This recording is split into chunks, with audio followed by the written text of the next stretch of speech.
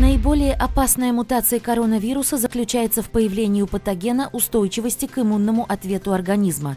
Об этом рассказал врач-терапевт, клинический фармаколог Андрей Кондрахин.